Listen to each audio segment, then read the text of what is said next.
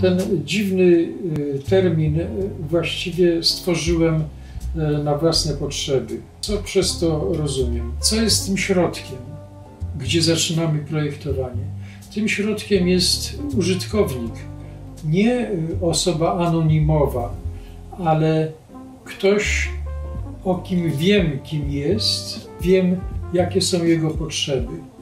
I wokół tego, dla kogo projektuję i jakie są potrzeby, ten projekt jest zbudowany. Dlatego nazywam to e, projektowaniem od środka. Bardzo często mówimy, e, projektuję dla takiego, a takiego klienta.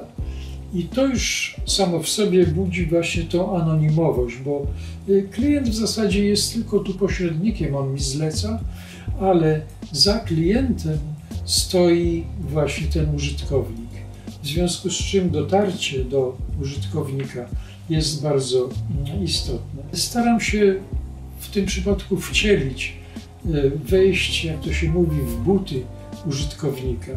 I dos, w dosłownym tego słowa znaczeniu, prawie dosłownym, mogę powiedzieć tutaj o projekcie Metra, które projektowałem razem z Ryszardem Bojarem, gdzie ten użytkownik musiał przejść z pewnego punktu do innego punktu pewną drogę. Ja w tych jego butach razem z nim śledziłem tą jego drogę i spisywałem jakie on ma potrzeby.